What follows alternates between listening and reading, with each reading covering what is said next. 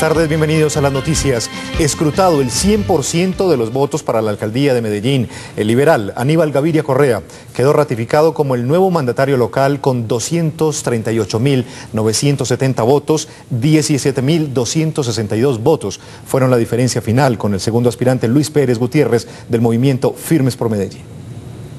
Las palmitas. ¡Ah! ¡Ah! ¡Ah! Atrás también. Cientos de simpatizantes, amigos y curiosos llegaron hasta la sede del alcalde electo de Medellín, Aníbal Gaviria.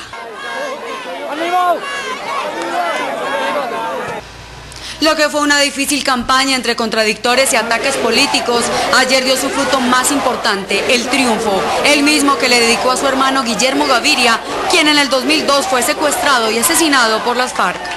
Hace ocho años avancé en la campaña la gobernación con el dolor de la ausencia de Guillermo y de Gilberto.